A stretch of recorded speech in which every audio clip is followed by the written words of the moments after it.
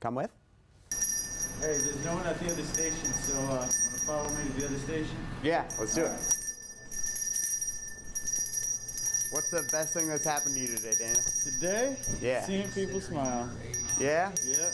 Seeing people smile and their kindness. Like uh, a random stranger, he asked uh, if he can get me a coffee. I said, "Huh, absolutely. Yeah. Thank you very much. Hey, thank you. Appreciate it.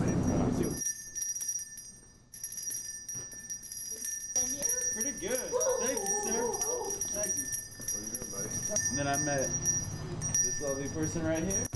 I had to pretty well give up everybody that I know, talk to, to stay away from certain things, aspects of that lifestyle. Good, My best word of advice for anybody is, you know, find the beauty in the negative. Like Jack Frost turning the cold on right now. Find the beauty in the negative. I love that. Daniel plans on volunteering as a bell ringer throughout the season. Brandon, a newly ordained minister, would like to welcome everyone who's struggling with addiction to come out to an NA meeting. Thanks, Daniel and Brandon, for letting me hang out. Coming up next.